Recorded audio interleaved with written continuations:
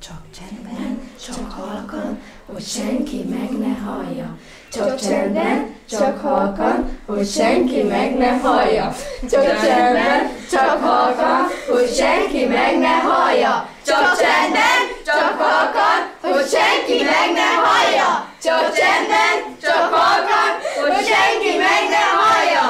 A szocializmus lényegéhez tartozik a falu rombolás. Csak csak halkan. Tisztázni kellene, hogy meddig terjed a politika illetékessége az oktatás kérdéseivel, és hol van a határ. Csak csendben, csak halkan. Útban vannak a helyi közösségek, és útban van a magyarság, úgy, ahogy van. Csak csendben, csak halkan. A szándékok nem tisztességesek ebben az országban. Csak csendben, csak halkan. Az országot irányító politikai osztály alkalmatlan az ország irányítására. Csak csendben, csak halkan, hogy senki meg ne hallja. Jó, elég, mert akkor nagyon-nagyon hangosak leszünk. Jó? Férjen ide, jó? András, induljatok meg, mert jön az. Elől a gyerekek mennek, mi majd utána. Azok az ügyek, amelyekben az Irlands Magyarországért az elmúlt években hallatta a hangját, általában úgy kezdődtek, hogy valaki megkeresett minket, és a segítségünket kérte. Így történt ez a falusi kisiskolákkal kapcsolatban is, hogy olyan települések veszítik el az iskoláikat, ahol 60, 90, 100 gyerek jár az iskolába, és a finanszírozási feltételek változása miatt lehetetlené válik az intézmények föntartása. 2007 novemberében láttunk munkához, és 2008-ban egész évben dolgoztunk ezen, azt kell mondanom, hogy a civil kezdeményezés és tiltakozás valamennyi lehetséges formáját kimerítettük. A gyűlések, tanácskozások, nyilvánosság fórumain érvelés, a szakmai érvek felvonultatása, a kormányzattal való tárgyalás, egyeztetés, kapcsolatkeresés, parlamenti nyílt nap, tüntetés, gyűjtést indítottunk a kisiskolák megsegítésére, staféta, amely a Telkibányai Zemplén megyei iskolától a budapesti parlamentig futottak el egymásnak, adva át a falvak üzenetét az belső iskolákból a tanuló diákok. Szeretnénk, hogyha a parlamentben nagyobb figyelmet fordítanának a kisebb falvakra és a kisiskolákra. Ezeket a leveleket szeretnénk átadni, és a javaslatokat. Új Zoltán barátomat hagy mutassam be, ő szervezte ezt a futást, ő adja át, nála vannak a levelek. Számomra az egy különleges öröm, hogy a mai világban, amikor általában a ö, gyakorlat az, hogy mindig valaki valami ellen szól, hogy most valamiért történt ez a futás. És számomra egy kiinduló pont, hogy a gazdaság az nem cél, hanem eszköz ahhoz, hogy társadalompolitikai célokat megvalósítsunk, és nyilvánvaló, hogy ez egy fontos kérdés, hogy elérhetőek legyenek ezek a lehető legkisebb településeken is, hiszen mi így vagyunk együtt Európa. Klebezberg fogalmazta, hogy az iskola akkor van jó helyen, hogyha a gyerek gyalog is el tud menni az iskolájába.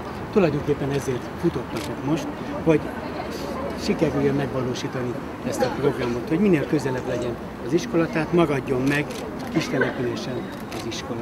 Valamennyi település, amelyen az útvonalat érintettük, egyöntetően és egységesen nyilvánította ki, ma, ki véleményét a kisiskoláik megtartása és megmaradása mellett. Ebben a kérdésben olyan társadalmi összefogást tudtunk most itt felmutatni, amely egyértelműsíti mindenki számára, hogy itt önöknek már nagyon könnyű dolguk lesz, hiszen egyértelmű és könnyű döntéseket kell meghozni.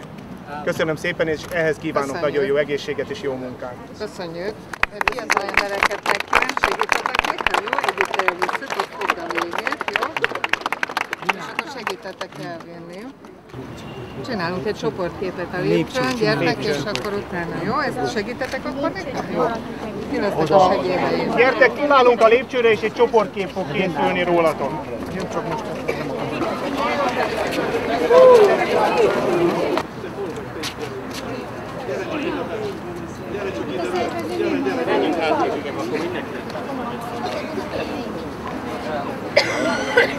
Kezdődött egy tárgyalás az Oktatási Minisztériumban. Ők is ma már másképpen gondolkodnak a kisiskolák helyzetéről. Egyre inkább hajlanak arra, hogy az a jó, hogyha a falvakban megmarad az iskola, Viszont ezek a változások reményeink szerint a jövő évi költségvetésben már benne is lesznek. De most szeptember 1-én még egy olyan tanév kezdődik, amiben a régi szabályozás érvényes. Ezt az egy évet, ezt ki kéne bírni és ki kéne húzni.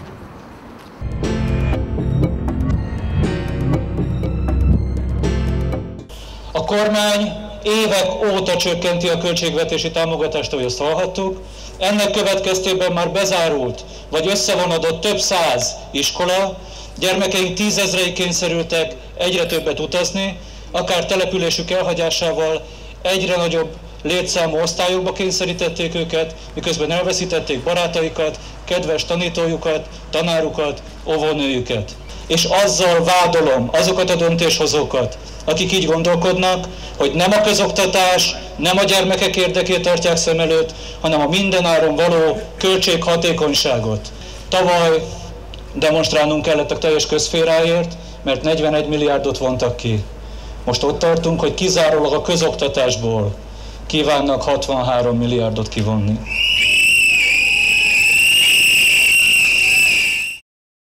Csak csendben, csak halkan, hogy senki meg ne hallja. Alul írott önkormányzatok polgármesterei végső elkeseredésünkben és reménytelen helyzetünkben fordulunk tisztelt miniszter úrhoz. A közoktatás terén reform intézkedések kapcsán hozott kormánydöntések ügyében. Szeretnénk ráirányítani miniszter úr figyelmét azokra az anomáliákra, amelyek a közoktatásban olyan káros folyamatokat indíthatnak el, ahonnan már nincs visszaút. A kormányzat és a minisztérium részéről cinikus megnyilvánulásnak értelmezzük, hogy a közoktatás minden gondját, baját a központi költségvetés kiigazításának leple alatt magáról levetkőzve az önkormányzatokra borítja. Teszi ezt oly módon, hogy az állam számára kedvezőtlen és népszerűtlen intézkedések megtételét áthárítja az önkormányzatokra. Nincs mersze a kormánynak igazán állást foglalni abban a lényeges és alapvető kérdésben, hogy a közoktatás állami vagy önkormányzati feladatnak minősül-e. A jelenlegi jogi szabályozás között az az érzésünk, hogy kimondva vagy kimondatlanul a központi szándék a teljes centralizációra irányul, csak ezt a kormány közvetve az elégtelen finanszírozáson keresztül igyekszik az önkormányzatokkal végrehajtatni. Kérjük javaslataink és kezdeményezéseink, kezdeményezéseink törvénymódosításban megtestesülő érvényesítését. Várjuk mielőbbi szíves válaszát Dénesfa 2007. február 7 üdvözlettel. 1, 2, 3, 4, 5, 6, 7, 8, 9, 10, 11, 12, 13, 14 polgármester aláírásával. És kaptak erre választ? Kaptunk választ, igen. Ö, hát egy semmit mondó választ kaptunk rá, úgyhogy továbbra sem mondták ki azt, hogy az oktatás az, az gyakorlatilag az állami feladat lenne, tehát az, hogy itt ilyen különböző kistérségekre, meg egyéb kormányzati szintekre lenyomjuk, ezek ilyen, ilyen, ilyen kézmosások a vezetőink részéről, és, és sajnos, sajnos ez, ez, hát ez meglátszik az ország helyzetén tehát a, a, a országunk kulturális helyzetén, a, a, a társadalmi helyzetén, a gazdasági helyzetén, szóval úgyhogy, úgyhogy nem akarom én ezt itt fokozni. Én az elmúlt években ezt nagyon sok helyen, sok fórumon, nem csak én, sok polgármester kollégámmal elmondtuk, de sajnos ö, egyfajta, hogy mondjam, ilyen demokratikus diktatúra formájába ö, működik a, az országunk, és, és, és így, így, így nem tudunk ellene tenni semmit. Úgyhogy be kell állnunk a sorba, amit fönt egy ember kitalál, az valósul meg valójában. Nagyon jól működő, nagyon jól prosperáló iskola volt, tulajdonképpen minden eszköz megvolt, a nyelvlabortól kezdve minden. Amire elértünk odáig, hogy az eszközök, a számítógépeket minden megvásárolt az önkormányzat, egy nagyon jól működő iskola volt, addigra sajnos be kellett zárni. Mert hát nem kaptuk meg a normatívát és ez nagyon-nagyon nagy gond, probléma az önkormányzatnak is, meg hát saját magának a településünknek is. Ezek eléggé rafinált módon, de minden ilyen normatíva más és más kritériumokhoz kötve elérhetetlen volt a, elérhetetlen a kis települések számára, kivéve, hogyha kolhozosítják az iskola rendszerüket Szerint egy ugyanolyan fajta kollektivizációról van szó, mint a termőföld esetében volt. Leértek hozzánk 2007. februárra azok a törvények, azok a, a, a, a, a jogszabályok, amik alapján majd ugye 2007. szeptemberétől ugye működtetni kellett volna az iskolát, és ugye ezért kezdtük ezt a tiltakozást, akkor már jött, hogy 15 akármennyi pénzünk van, hiszen végülis ez idáig is nem a normatívából tartottunk mi iskolát, mert az kevés lett volna hozzá, tehát a más egyéb, a mit tudom én, járdaépítés, meg a falukarbatartás, meg a a, a, a, hivatal, nem veszünk fel például a képviselőtestületi tagjaim, társaimmal együtt egy fillér tiszteletdíjat sem, tehát ezek a pénzek mentek oda, mert hát sok millió forintot tettünk mi ahhoz, hogy itt az iskola tudjon működni, de ugye akkor jött az a bizonyos törvény, javaslat, illetve aztán ami életbe is lépett, 15 fő, ha nincs 15 fő, 15 gyereked, akkor, akkor nincs iskolád. Aztán ugye, hát ezt már ugye nem tudtuk végül is kivédeni, és akkor 13 gyerekünk lett volna 2007. szeptemberében, és akkor hát kénytelenek voltunk ö, ö, bezárni. Helytelennek tartom azt, hogy, hogy ilyen különbség van a gyerekek között, hogy 16-an vannak egy osztályban, akkor több pénz jár nekik, ha 14-en, akkor kevesebb pénz jár. Az iskola társulások nem jöttek létre, tehát azt sem oldotta meg, amiről beszéltem, hogy ha lenne legalább egy ilyen társulás, hogy a térségbe, aki beiratja a gyerekét a térségbe, majd az igazgató megmondja, hogy melyik tanterembe megy. És akkor nem lenne az, hogy most nem tetszik itt, akkor elviszem a szomszédfaluba, és egymás gyerekét lopkodják itt a polgármesterek, mert elviszem én ingyen, meg ezt adom, meg azt adom, licitálunk a gyerekre, röhely egyszerűen. Az a rendszer, amit csinálunk. Nem a falvakról és az ő iskoláikról van szó, hanem a magyar nemzet sorsáról van szó. Nem városok és falvak küzdenek egymással, hanem a nemzet próbál megoldásokat találni a jövőjére. Ez a nemzetjövő nem rózsás. Egy másik konferencián, és ezzel kezdtem a mondandómat, amit most mondani fogok, a falusi 20-30-50 tanulós iskolák most valamikor nem ennyi gyereket láttak el, ugyanez a helyzet városokban is. Az Oktatási Minisztérium honlapján elérhető adatok szerint 6 év, 6 tanév alatt az általános iskolások száma 114 ezerrel csökkent. Az intézmények száma 1165-tel kevesebb 2007-2008-ban, mint az volt 2005-2006-ban. Ezen belül különösen az iskolák száma csökkent, ez 621, a 3141-ből 2520-ra. Tehát az ősök is ebben a településen születtek, és hát ha belekezdünk, minden fájdalommal kell megérnem, hogy az én vezetésem alatt szűnt meg a általános iskolánk. Először a felső tagozat, egy fél évre rá az alsó is, mert úgy elvitték a szülők. Tehát 80 fős iskolai létszámunk volt. Kistár a 2008-as évben azt mondta februárjában, hogy ugyanazt az önégit állítsuk be, mint előző években. Ezt folyósította is. Júli 19-én azonban 49 milliós inkasszót tett a számlánkra, és ez, hogy papíron össze volt vonva a egyes egyháza pusztoltlak a hármas iskola, ezt nem fogadta el. Tehát 14 tanárt el kellett bocsájtani. Nehéz volt megélni, ahol senki nem látott, sírtam, de akkor, amikor, amikor a szinte ellehetetlenítették egy, egy 250 milliós költségvetés önkormányzatot, amikor 50 milliót legombolnak tőle, akkor gondolom azt átélni. Volt egyszer egy ilyen gyűlés, akkor összegyűltek, hogy írjunk aláírásokat, aláírásokat gyűjtöttünk, összegyűlött az aláírás, de nem vették figyelembe, képzelje. Aha. És utána bezárták, utána volt nem is tudom még valami, és utána mondták, hogy nincs meg az annyi gyerek, a létszám. De akarnak itt bez... minden záratni. Azt mondták, sokba kerül az iskola fenntartásáig. Óvodát is lehet bezárni. Igen, igen. Óvoda az még működik? Még, még, még igen, az egy, ami még hát működik. működik még, de szerintem az se sokáig. Volt. Ide jártunk mi, kiskorom óta én ide jártam.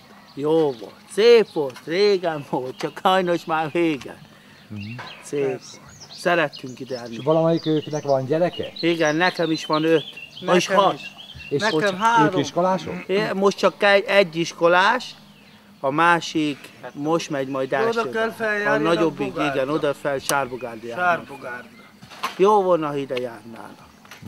Így van. Például ma is a fiam elkésett. Képzelje, ma is elkésett a fiam az iskolából, ma annyira fáradt volt, már így hét elején még bírja, de már kétszer, a csütörtök fele már szegény alig bír felkelni, meg alig Korán tudjuk felkelni. Igen. És elaludtunk mi is, és hát hiába. Most le kellett menjen a orvoshoz, kérjen igazolást. Ja. Dolgozunk mi is, közmunkába járunk mi is, így nehéz megoldani, nem bírjuk nagyon. Így, ha így elkésik a gyerek, inkább és leviszem ide a doktor úrhoz, és ad neki igazolást. Igen. Hát sajnos muszáj, hogy ide, hogy ezt tehát vissza kéne tegyék ide. Nem nagy iskola, de jó volt szerintem. Ilyen Hangulat, hangulat, és meg ott jó bennünket. Mondták, hogy most nem János, Pisti vagy Zoli, ott bent Sárbogárdon az a gyerek, gyere ide, nem tudják még a nevünket se igazán. Persze. Ez hiányzik még. Igen. Hiába, ezek a fák is, milyen itt, mennyit szoktunk itt játszani? Ide szoktunk. Az apukámat is ő tanította, az ő apukáját is ő tanította, mind. Szóval egy sok ember, sokat, még az öregeket is. Több generációt ő tanította, László, persze. Meg a fele, a neje, akkor a lánya, így voltak hárman. Csak iskola marad, mi nekünk ez, ez is marad ez, ez iskola. Akkor mesélj, de mikor bementél nálam, mit? Hogy megsiratták, mi mondta, hogy megsiratták ezt az iskolát, mert hogy azt mondja, ez a Sárvogárdi iskola csak egy húsdaráló. Sok gyerek, 600 gyerek van egy helyen. Hogy milyen, hogy rossz ott, szóval rossz. Rossz, nek, rossz volt nekik is minden. Maga pedig- Inkább nyugdíjba ment, azt mondta. Igen, elment nyugdíjba, mind a ketten. Neje is, meg ő. Ja. Kötélmászás. A tornaterem. Igen, tornaterem, ez volt igen. A karácsony ünnepségek is, így szoktak lenni, emlékszem? Jó. Mo- most az ünnepségek hol vannak? A mostani ünnepség az Sárbogárdon. Itt szokott lenni a karácsony ünnepség, akkor a bollogáskor is itt készültek fel a gyerekek, amikor innen kipallagtak, amikor rossz idő volt, akkor ide betartották. Volt nekünk, akkor olyan nagy volt ez, hogy azt hittük, körbe se lehet szaladni. Most meg már ilyen picike. Ez hihetetlen, hogy az ember így felnő, és utána, hogy a tér minden növőtte nő. Csökken. De így szoktunk menni környezetórán az erdőbe, minden, ide át szoktunk menni, itt egy nagy fenyves. Ide át szoktunk menni mindig az erdőbe, minden jobb volt, minden, jobb volt minden. Semmi, tiszta betonos udvar ott minden, itt meg jó, mintha táborban lett volna az ember mindig, mint a kirándultunk volna. Jó volt, nagyon. Vannak, akik azt mondják, hogy a vidék az életképtelen. Vannak, akik azt tartják, nem is akármilyen pozícióban, hogy a falvak középkori hagyományok, amelyeket nem kéne megőriznünk. Ez az ország mindig is a vidékről és a falvaiból újult meg. Minden katasztrófa után. Nagyon nagy baj lesz abból, ha ez a hátország, ez a megújító erő, amit a vidék jelent. A templom és az iskola a megtartó erő. És azt szeretném egy picit megmutatni, ha szabad, hogy nem egyszerűen gazdasági, vagy nem egyszerűen egy neoliberális ö, racionalizáció veszélyezteti ezt a közösséget, hanem egy olyan koncepció alakul a vidéki közösségek körül, ami a végveszélybe viheti. Én úgy gondolom, hogy történelmet írt ez a kis település abban, hogy egyből a nyolc osztályból nullára tettük az iskolánkat. Tehát sem alsó, sem felsős egyetlen egy iskolás korú gyermek nem kellett a településnek. Hát ennyi, hát ez, ez igazság. Igen. Ebben nincs olyan, ami, ami nem igaz.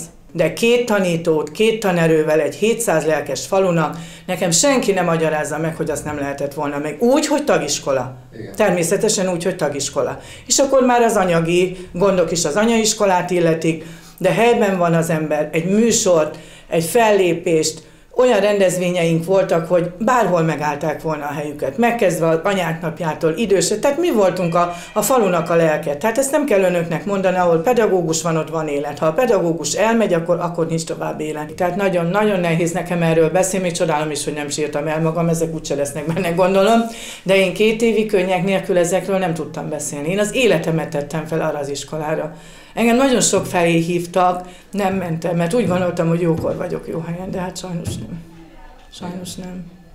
Országos napilap által szervezett beszélgetés volt eh, május 20-án, a választások után természetesen, mert hát előtte ilyesmikről nem beszélünk.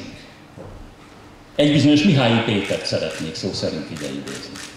Eh, ez az Államreform Bizottság prominens vezető szakértője a Draskovics féle társaságnak, aki megmondta volna, hogy merre van előre. Ugye ma már nincs ez az Államreform Bizottság, de bizony áldásos tevékenységének a nyomai itt vannak rajtunk. És ez a bizonyos Mihály Péter, amikor minisztert váltogatott az a kormány, egészségügyi minisztert, hát bizony őnek a neve forgott a, a miniszterjelöltek között. Ezt arra mondom, hogy nem akárki, nem egy bolond az utcaszélre, aki bekiabál. Aki jót mosolygunk, hogy milyen marhaságot mondott, és aztán túltesszük magunkat azon, amit mondott. Nos, ez a bizonyos Mihály Péter mit is mond? Az oktatással kapcsolatban sincs a racionalizációnak alternatívája. Ne zárjuk be az iskolákat a kis településeken? Az orvosi rendelőket is be kell zárni, a postát is. A biztosítók és a bankok már elvonultak onnan. A társadalmi dinamizmus a városiasodásból, vagy a járások alakulásból áll. Az állam feladata, ezt nagyon jól fegyeljük meg. Mit gondol, mit gondol, mi az állam dolga ebben a helyzetben? Az állam feladata, hogy arra ösztönözze az embereket, mozduljanak el onnit, ahol vannak. Menjenek! Ezt hallottuk más hangszerelésben a miniszterelnöktől is azután. Itt az alapvetés 2006 május, a választások után. Ha falun maradnak, megmondja nekünk, mi lesz. Ne lepődjünk mi ezen meg, hát ez történik.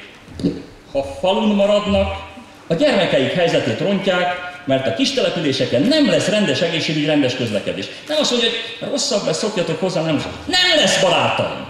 Szokjatok hozzá a gondolathoz. Nem lesz semmi.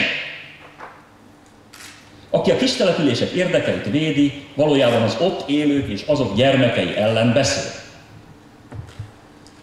Lány András barátom vitapartnerként próbálja megmagyarázni, hogy hát az ebből baj lesz. Én itt részletesen nem idézem, gondolom, ő erről beszélni fog.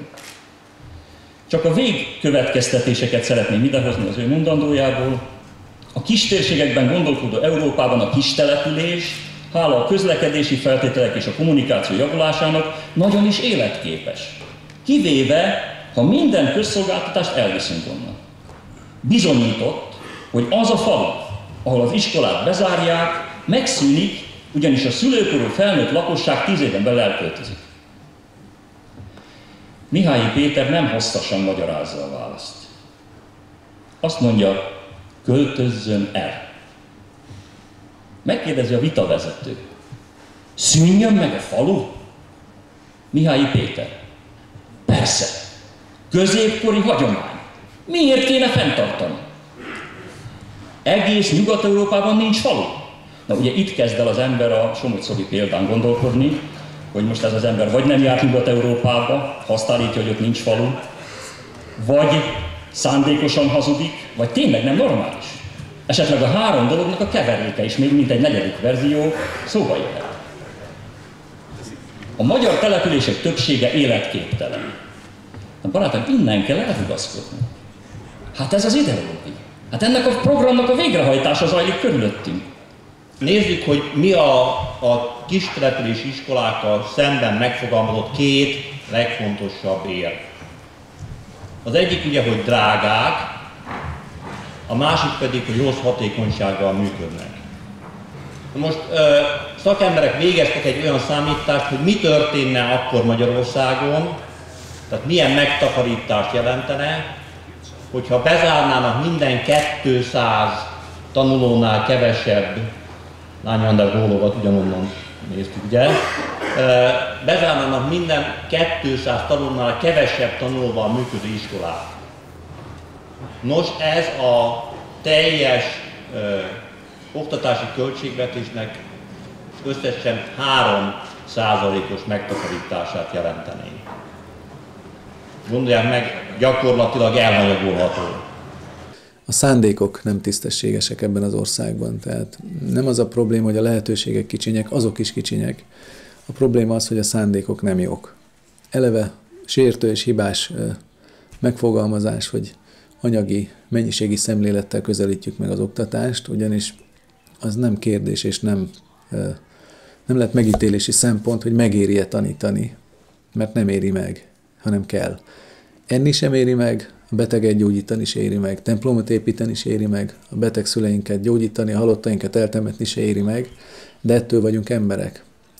Hogyha ezt mi összevetjük azzal, hogy hány kilométer autópálya épül, vagy milyen állapotban van a gazdaság, akkor régen rossz az egész, és eleve egy rossz megközelítés, hogy mindent a gazdaság oldalára, ugyanis nem, a, nem a, az ember van a gazdaságért, hanem a gazdaság van az emberért. Ez hajlamosak megfordítani ezek a mi jelenlegi életünket befolyásoló politikai tényezők, és hát sajnos úgy gondolom, hogy nem is tehetnek erről, mert egész egyszerűen nők nem képesek máshogy gondolkodni csak a anyagiak oldaláról. És ez nagyon nagy áldozatot követel az országtól, mégpedig a teljes jövőjét. Ezek a kisiskolák ugyanis ezen a környéken nem csupán az oktatásnak a területei, hanem a teljes élet innen indul ki. Itt a kultúra, itt a fiatalság, ahol megszűnik az iskola. Ezt nem kell különösebben bogozni, mert ismerős tény, hogy az a falu sorvadni kezd, és ahol az iskola megszűnt, azt újra nem indítják már. Ez is egy tény. Csak csendben, csak halkan, hogy senki meg ne hallja. Egy elképesztő spekuláció zajlik mindenünkre szinte. És itt jutunk el a közösségek támadásának a kérdéséhez is. Mert itt, barátaim, egy durva támadás éri. Nem véletlen események sorozata az, ami a helyi közösségekkel, a kisfalvakkal, kis településekkel, az iskolákkal történik, hanem egy jól kiszámított, stratégiailag elképzelt, durva támadás kéri a helyi közösségeket. A társadalom szövetének a fölbontása zajlik. A behatolás előkészítése zajlik, mert az a társadalom képes ellenállni az ilyen típusú behatolásnak, amely erős, a belső kohéziója erős, a helyi közösségei erősek. Ezért tudatosan támadja, nem véletlenszerűen, tudatosan támadja az intézkedéseivel ezeket a helyi közösségeket, amik a társadalmi összetartás, a kohézió alapját jelentik, ami a megújulást jelentheti, ami az ellenállást adhatja mindazzal szemben, amit körülöttünk történik. Mikor meghallottuk, hogy be akarják zárni, hát egyszerűen nem is akartuk elhinni, hogy ez van, és akkor ötlött fel a szülőkbe az, hogy inkább összefogunk, és a hiányzó pénzt összefog, össze szedjük adományokból azért, hogy meg tudjuk menteni magunknak a felső osztályokat. Arról volt szó, hogy negyedik után egész nyolcadikig bezárnák, és egy másik iskolába kellene a gyerekeknek busszal járni. És akkor mikor jöttek a problémák? 2008-ban éppen, hogy 2008-ban, amikor ugye elterjedt az, hogy elég sok kisiskolát be szeretnének záratni. Tehát úgy állapodtunk meg, hogyha iskola kezdésre, illetve egy bizonyos dátumra, azt hiszem július 31 vagy augusztus 31 volt meghatározva, ha össze tudjuk gyűjteni a 3 milliót, akkor mehet tovább a, a felső négy osztály. Hát szerencsére sikerült. Mindenki nagyon-nagyon lelkes volt, a pici nyugdíjas is volt, aki, aki tudjuk, hogy nélkülözik, és azt mondja, hogy ő csak 500 forintot tud adni, és mi, én, én azt akkora nagy eredménynek tartottam, hogy tudom, hogy nélkülözik, hogy a szája elől veszi el tulajdonképpen a falatot, és jött, és önként jött, és Anikám, adnék ennyit. Ennyit tudok csak. És akkor mondtuk, hogy minden forintra szükség van, ha 100 forintot tud, százat, ha tízezret tud, tízezret. Nem jutottunk hozzá ehhez a közel 20 millió forintos önhéki támogatáshoz, így olyan lehetetlen helyzetbe került a település önkormányzata, hogy nem tudta vállalni tovább az iskola fenntartását. Súlyos 10 milliókkal adósodott el a többcélú kistérségi társulás felé, az új fenntartó felé, és hát ezért kellett meghozni ezt a döntést tavaly februárban, hogy az iskolát gyakorlatilag be kell zárni. A polgármester asszony, dr. Kisrigó László Szeged-Csanádi Egyházmegye püspökéhez fordult segítségért, illetve tanácsért. Egy alkalommal én is részt vettem egy ilyen megbeszélésen, és akkor a püspök úr arról biztosított bennünket, hogy amennyiben a szülők is szeretnék, akkor ő természetesen kész arra, hogy itt Dócon egyházi fenntartású iskolát alapítson, hiszen ők gyakorlatilag nem anyagi, hanem erkölcsi kötelességüknek tekintik azt, hogy, hogy tehát a kis településeken is az oktatás az helyben maradhasson. Mi akkor tudunk partnerek lenni, és akkor vagyunk készek akár anyagi áldozatok árán is iskolát működtetni, fenntartói feladatot vállalni egy közoktatás intézménnyel kapcsolatban, egy adott településen, hogyha egyrészt van helyi úgynevezett lakossági igény, tehát a helybeliek, családok kifejezetten kérik, igénylik, hogy legyen egyházi iskola helyben. Ez az egyik feltétel, ez az első. Másik pedig, hogy a helyi önkormányzat ezt az igényt ezt ismeri el, támogassa, és legyen partner bármilyen módon abban, hogy egy egyházi fenntartású intézményt tudjunk alapítani, vagy mondom, önkormányzati intézmény fenntartását átvenni. Település összefogása ellenére is volt egy olyan évfolyamunk, ahol még a négy, településről, négy településről sem jött össze a szükséges minimális osztálylétszám. Ez egy ilyen szélsőséges demográfiai mélypont volt ebben az évfolyamban. A vonatkozó törvény nem engedte meg azt, hogy az osztályok között átlagot számítsunk. Volt olyan osztályunk, ahol 30 fős létszám gyűlt össze, de a másik évfolyamon meg csak 15. Tápszent Miklóson egy nagyon agilis polgármester tevékenykedik, Kovács József, aki egy szolgálati lakást ajánlott fel az ország bármely részén lakó olyan családnak, akinek a keretei között él egy ötödik osztályos gyermek. Rengetegen jelentkeztek. Aztán később felépült a nyolc lakásos társasház, így további nyolc összesen, tehát 11 család költözött Tápszent Miklósra. Igénybe veszünk olyan törvényi lehetőségeket, amelyek, hát nevezhetném kiskapunak is, hogyha ezt a megoldást keressük, de valójában azt gondolom, hogy hasznosabb ennél. Arról van szó, hogy kértük a jelenlevők, szülők, összehívtunk egy szülértekezletet, közel száz százalékban kértük ennek a cigány kulturális ö, oktatásnak a bevezetését. Ez nem azt jelenti, hogy annak valótuk magunkat, ez működik. Tehát semmiféle problémát nem okoz sem a cigány gyerekeknek, sem a magyar gyerekeknek, sem a szülőknek, sem a pedagógusoknak. Ez egy plusz lehetőség, ami mellett bűn lenne, hogyha elmennénk. Ennyi történt. Kb. hány százalék itt a cigány Hát a tanulók között ez egy érdekes kérdés, évről évre több. Tehát, most, tehát minél alacsonyabb egy évfolyam, annál több. Tehát a, az első évfolyamon, hogy gondolom, hogy 40 százalék körüli.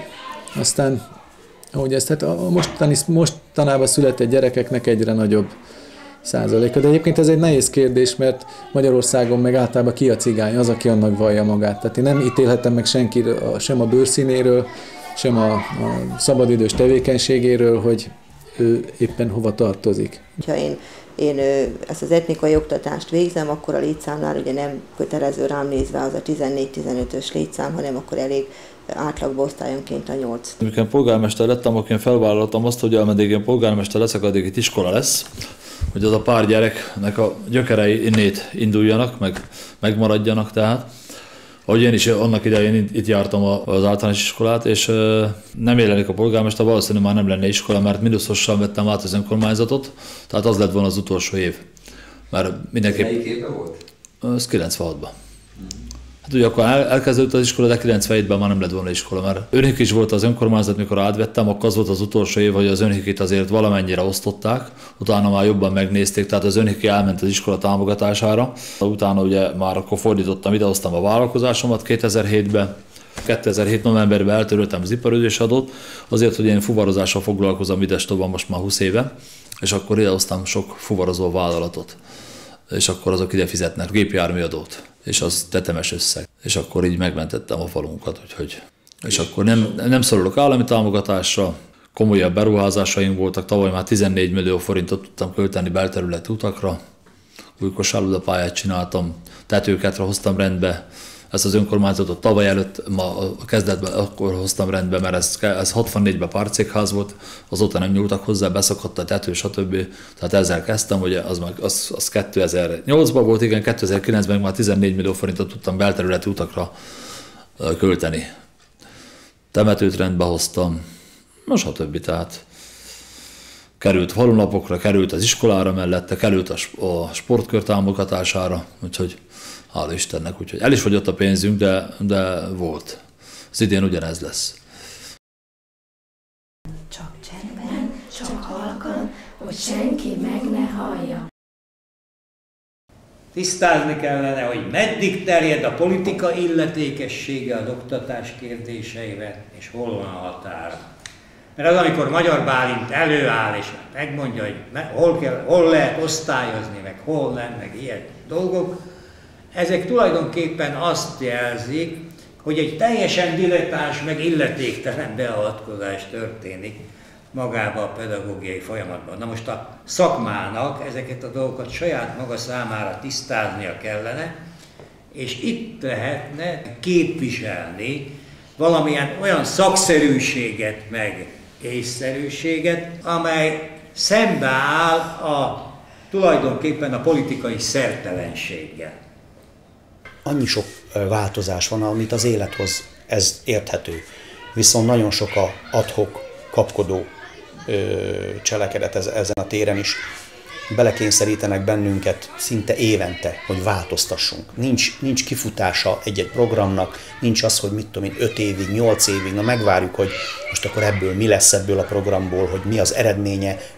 Mindig hoznak valami új ötletet, valahonnan, valamilyen irodából, ki elgondolják, hogy ezt most így kell csinálni. Magyarországon az elmúlt 20 évben egy olyan politikai osztály irányította a társadalmat, amelynek nem volt stratégiai elképzelése az ország távlatairól. Ezért tették tönkre az oktatást, az egészségügyet, az infrastruktúra más elemeit, és így tovább, mert tulajdonképpen eh, ugye a pillanatnyi szükségletekhez igazodó politizálás, meg az, hogy az ország érdek alárendelődött tulajdonképpen a multinacionális tőke érdekeinek, ez együtt azt eredményezte, hogy egy leszakadó ország vagyunk. Vagyis a makropolitikáról van itt szó, és arról a társadalmi csoportról, amely a társadalmi méretű döntési lehetőségeket Magyarországon kizárólagosan birtokolja. Hát ez a politikai osztály. Hol egyik csoport van hatalmon, hol másik, mármint kormányhatalmon, de hát az eddigi politikai menetben olyan nagy különbség abból a szempontból nem volt köztük, hogy társadalomstratégiát nem jelenített meg egyik sem. Általában nekem az a véleményem, hogy egy iskola nem attól jó iskola, hogy technikailag mennyire felszerelt, hanem milyen pedagógusai vannak. A, a kicsin gyermeknek, a hat éves gyermeknek igazán nincs szüksége sem számítógépre, sem mindenfajta se digitális táblára, se egyéb ilyen trükkre, amivel manapság az oktatásra szánt pénzeket nevesítik és ellopják, hanem tudásra van szüksége, rendre és szeretetre van szüksége.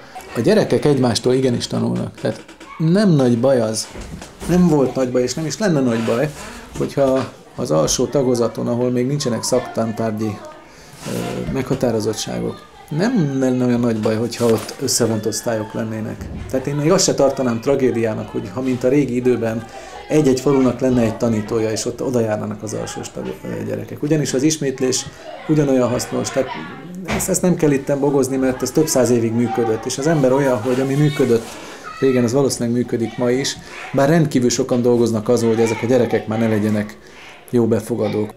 Én is már azért ugye lassan 20 éve vagyok a, a pályámon, és hát nem igazán ö, dicsekedhetek a, a nettó fizetésemmel, tehát valóban igaz az, hogy, hogy a pedagógusok a nemzet napszámosai, mert és ugye főleg amikor hallom ezeket, hogy mert hogy annak idején 50%-kal megemelték a pedagógusok bérét, hát könyörgöm, az 50%-os béremelés után visz a, egy 20 éve a pályán lévő pedagógus nettó 90 ezer forintot. Miről beszélünk?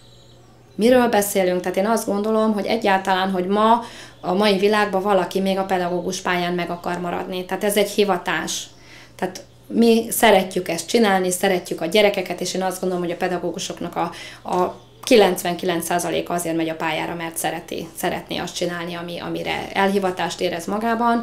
Ezt meg kéne fizetni. Hogy itt most már körülbelül negyedik éve nincs buktatás az alsó tagozaton. Tehát úgy kerülnek magasabb évfolyamra a gyerekek elsőből a másodikba, másodikból a harmadikra, és így tovább, hogy alapvető hiányosságaik vannak a gyerekeknek, de nem kell megismételniük azt az évfolyamot, hogy bepótolják a hiányosságaikat, hanem mehetnek tovább, és egyszer csak ott állunk szemben a problémával, hogy úgy kerülnek fel a felső tagozatba a gyerekek, halljuk be sokan, hogy tényleg nem tudnak olvasni, és tényleg nem értik, hogy mit olvasnak. És azt gondolják, hogy majd 5.-6. osztályban helyre tesszük ezeket a dolgokat. Én azt hiszem, hogy talán nem itt kéne helyre tenni, nem csak itt kéne helyre tenni. Az értékelés az egy numerikus rend. Az egy rend a kettes tanuló az jobb, mint az egyes, és rosszabb, mint a hármas. És a kettes tanuló hármas akar lenni, a hármas meg négyes, mert felfelé törekszik. Nem, nem merjünk kicsit lenni, merjünk nagyok lenni. És uh, azzal, hogy ezt megszüntették, azzal gyakorlatilag egy olyan szelekciót vettek ki a rendszerből, ami évszázadokig működött, ugyanis régen is voltak rossz tanuló, rossz képességű, gyengébb képességű gyerekek, akik nehogy Isten nem tudtak megtanulni írni és olvasni, őrájuk is szüksége volt a társadalomnak, ők alacsonyabb beosztásban fizikai munkát végeztek. Most elnevezzük diszlexiásnak, diszgráfiásnak, és a többi, és a többi, és amiből gyenge, abból nem osztályozunk, összekeverjük, és együtt halad a társulat, és a végén majd lesznek valószínűleg írni, olvasni nem tudom miniszterek, netán miniszterelnökök, lehet, hogy most is vannak, nem tudom, nem ismerem őket, de egy biztos, hogy, hogy egyfajta rendet kivettek ebből, kiúzták alulunk a talajt, hogy nem lehet osztályt ismételni csak a szülő beleegyezésével. Tehát egy olyan szülőt kell meggyőzni arról, hogy hasznos lenne a gyereknek az ismétlés, aki maga is valahol a harmadik osztály szintjén akadt meg. Ez nagy baj. Semmilyen szankciója nincs semmiféle teljesítmény hiánynak. A rendszert úgy kell működtetni, hogy a teljesítmény hiány hosszú ideig ne is derüljön ki. Amikor viszont kiderül, akkor a teljesítmény hiány már oly mértékben fölhalmozódik a gyerekek szintjén, hogy nem is tudják ugye a dolgot már pótolni, tehát a lemaradás végzetessé válik. Itt az integráció kérdése. Hát nálunk most már az vetődik fel, mivel a roma tanulók, illetve nem csak roma tanulók, mert nagyon sok a halmozottan hátrányos helyzet és hátrányos helyzetű tanulók, több mint 70 százalék, hogy most kit integrálunk kihez.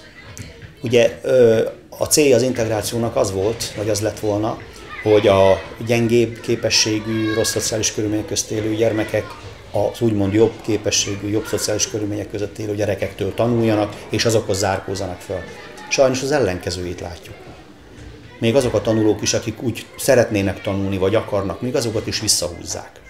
Valaha felelősségre lehet-e vonni majdan azokat az embereket, akik, akik mert józan észre ezt nem tudom elfogadni, bár működik, mert tanyákon, meg, meg alföldi nagyon kis falvakban működik, hogy elviszik a három éves vagy a négy éves gyereket 10 vagy 15 kilométerre óvodába, de hogy ezekből a gyerekekből, a nagy részéből nem tudom, hogy, hogy, hogy mennyire lesz tehát úgy belül, bár persze felnőnek ők is, meg emberek lesznek belőlük, de nem tudom, hogy az érzelmi világukat mennyire töri meg, amikor a, a, a gyerek látja azt, hogy ő neki vándorolnia kell, ugyanakkor a, esetleg a helybéli meg, meg, meg 5 perc alatt odahaza, meg, meg nem fagyoskodik kint télen ugye a buszvárónál, meg hasonló dolgok, már ugye három éves, meg négy éves korba, tehát nem tudom, hogy hogy van-e olyan, aki hoz egy ilyen döntést, hogy ezeket számításba veszi-e. Ezek a problémák nem lennének, hogyha nem más kellene hozzá. Egy nagyobb lelkiismeretesség, és, és nagyon sok ö, ö, ö, probléma, akkor, akkor, akkor átszámolnának dolgokat, odafigyelnének dolgokra.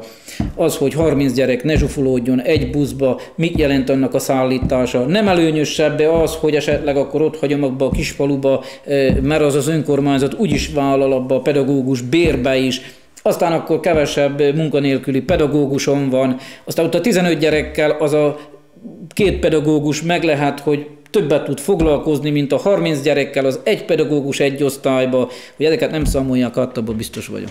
Az, mert, mert, mert akkor nem ezek az eredmények, nem ezek a ö, nem ezek az intézkedések jönnének akkor, ha ők ezekkel foglalkoznának. hogy senki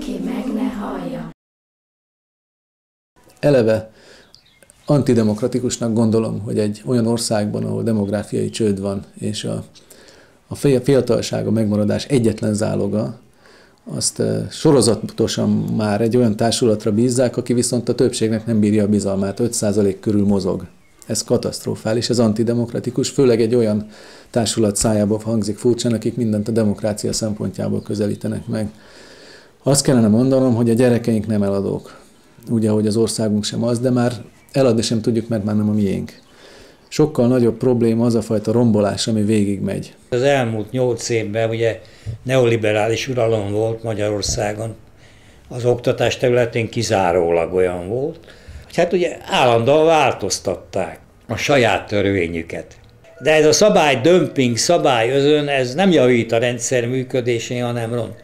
Tehát még inkább instabilá és kiszámíthatatlanná teszi, mert amúgy is tele van ötletszerű döntésekkel az egész. Hát kardinális problémá. Ugyanez van az egészségügyben, meg minden más területen is. Ez egy instabil rendszer, amiben mi élünk. Minden eresztékében, minden dimenziójában instabil, és ezt az instabilitást tulajdonképpen ez a törvénygyártási ugye dömping, ami itt zajlik az ország, hát ez is kifejezi. Hát össze-vissza változtatnak mindent. Mire bevezetnek valamit, akkor már rögtön kisderül, hogy az már rossz is. Vagy végrehajthatatlan, vagy teljesen hibás. A szándékokkal is ellentétes következményei vannak. Vagy az alkotmányjal ütközik, ugye, hát rengeteg ilyet csinálnak, borzasztó ez. Ez a dilettantizmus, a hozzá nem értés, szakszerűtlenség, átgondolatlanság, perspektíkus gondolkodás hiánya, vagyis, hogy az országot irányító politikai osztály alkalmatlan az ország irányítására. Koncepciót látunk a dolog mögött, ugyanazt a koncepciót, amelyet az 1972-es közigazgatási reform már egyszer megindított, tulajdonképpen a szocializmusnak, az állami abszolutizmusnak a lényegéhez tartozik a falurombolás, hiszen a központi tervdiktátorok szempontjából észszerűtlen a népességnek ez az össze-vissza szanaszét, gazdaságtalan, kicsiny eh, egységekben való elhelyezkedése, sokkal célszerűbb volna minél nagyobb városokba zsupolni őket. Ezzel szemben tudjuk, hogy az Európai Unióban fel fog értékelődni, fel fognak értékelődni azok a kedvező agráradottságok, amelyek Magyarországot kitüntetetten jellemzik, és akkor ezeknek valaki hasznát fogja látni. Igen, nagyon egyszerű a logika. 2011-ben, vagy legkésőbb 2013-ban föl kell oldanunk a mora, külföldiek földvásárlási moratóriumát. Ez az ötszörös, ötvenszeres profit ígérete. Ez eléri az inger küszöböket. Ez már ebben a körben is, akikről beszélek, komoly összeg. Ezt megszerezni a liberalizáció előtt, ez biztos, generációkra előre megépíti az adott dinasztiákat. Itt dinasztia építés folyik, gazdasági dinasztia építés. Most születnek az első 1, 2, 3, 5, 10, 100 milliárdok. És ebben nagyon komoly szerepe lehet a magyar földnek, amit meg kell szerezni azelőtt, mielőtt a piacok liberalizálódnak. Meg kell szerezni a piacainkat. És nem csak ezekre történik itt spekuláció, hanem a térre magára is. Ez a Kárpát-medence, ez egy jó hely. A mi őseink nagyon tudták, hogy hova kell jönni. Mindenünk megvan, vízünk, földünk, kiváló klímánk, minden adottságunk megvan. Egy védett helyzetben vagyunk sok tekintetben, és akkor az ember, két példát szeretnék idehozni, találkozik azzal a helyzettel, hogy egy kormány előterjesztés készül arra, hogy aktív politikával hogy lehet egy millió embert keletről ide betelepíteni. Összesen persze a másik oldallal, amikor a miniszterelnök azt mondja, hogy akinek nem tetszik, az menjen. A vállalkozók menjenek Szlovákiába, a fiatalok menjenek külföldre, vagy ahova akarnak, az orvosok menjenek Skandináviába, mindenki menjen el, akinek nem tetszik a helyzet. Nem arról szól a történet, hogy mi van, ha egy invázió elindul. Hogy tudunk védekezni ebben a helyzetben. Mert itt a klímaváltozás és sok egyéb ilyen körülmények közt előállhat egy ilyen helyzet. Nem erről szól az előterjesztés. Aktív politikával, hogy tudom elősegíteni. És akkor ehhez jön még egy hír, Simon Pereznek a bejelentését szeretném idehozni, bár ilyenkor már ugye a, az összeesküvés elmélettel ládolják az ember, de hát nem tud szabadulni az ember a gondolattól. Amikor Simon Perez volt szíves azt mondani, hogy a modern időkben már nem úgy szokás birodalmakat építeni, hogy katonai erővel elfoglaljuk azokat a területeket, hanem gazdasági hatalommal felvásároljuk. Sőt, megtette nekünk azt a szívességet is Simon Perez, hogy megnevezte, hogy mik a fő irányok, merre is kéne orientálódniuk. Manhattan, Lengyelország és Magyarország barátok. És épülnek az árt kolóniák? Épülnek az árt kolóniák. Méghozzá értékes, védett helyeket. Tehát nem az a probléma, hogy megszűnnek bizonyos iskolák, hanem az a probléma, hogy amelyek iskolák megmaradhatnak, azok is olyan szabályok szerint működnek, amely nem alkalmas a, az európai kultúra átadására, a magyarság átadására, a gyökerek átadására, a mi helyünknek a tisztellátására nem alkalmas. Én nekem van egy olyan érzésem, hogy mostani, nem Magyarországról beszélek, hanem erről a fogyasztói társadalomról, mostani politikai, gazdasági rendszernek buta tömegre van szüksége is. Amennyi pénzt beleöltek pár száz évvel ezelőtt az írás tudatlanság leküzdésébe, most annak a többszörösét ölik bele az újbali létrehozására. Ezt látjuk itt Magyarországon is.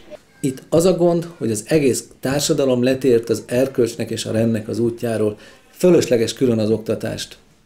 Az oktatásból el lehet aztán kezdeni az egész társadalmat fölépíteni. Most szerintem ott áll a helyzet, hogy fel kell építeni a társadalmat, mert romokba hever. Teljes egészében nagy megbecsülésem azoknak, akik ezt megpróbálják jó szándékkal. És a nagyon szurkolok, meg igyekszem segíteni magam területén, de nem lesz könnyű. Mit szeretnénk? Nem egészen azt, hogy hát akkor ne zárjanak be egyetlen falus iskolát se. Mert én ugyanúgy nem tudom eldönteni ö, azt, hogy melyiket kell megtartani vagy bezárni, mint azok, akik a kistérségek határait íróasztaloknál megtervezik, vagy az iskolák bezárását megtervezik. Sokkal egyszerűbb dolgot kell kérnünk. Mi lenne, hogyha visszaadnánk a falusi önkormányzatoknak azt a jogot, amelyet egyébként az alkotmány biztosít nekik, hogy maguk rendelkezzenek arról, legjobb belátásuk szerint, választóik akarata szerint remélhetőleg, hogy mi történjek a falu szolgáltatásaival elsősorban az iskolában. Szeretném, hogyha köszöntenénk egymást azzal, amivel szoktuk köszönteni egymást, jó? Küldöm neked a szeretetemet. Megkaptam. Küldöm neked. Megkaptam. Küldöm neked a szeretetem. Megkaptam. Küldöm neked a szeretetem. Megkaptam. Küldöm neked a szeretetem. Megkaptam. Küldöm neked a szeretetem. Megkaptam. Küldöm neked a szeretetem. Megkaptam. Küldöm neked a szeretetemet. Megkaptam. Küldöm neked a szeretetemet. Megkaptam. Küldöm neked a szeretetemet. Megkaptam. Küldöm neked a szeretetemet. Megkaptam. Küldöm neked a szeretetemet. Megkaptam. Küldöm neked a szeretetemet. Megkaptam. Küldöm neked a szeretetemet. Megkaptam. Küldöm neked a szeretetemet. Megkaptam. Küldöm neked a szeretetemet. Megkaptam. Küldöm neked a szeretetemet. Megkaptam. Küldöm neked a szeretetemet. Megkaptam.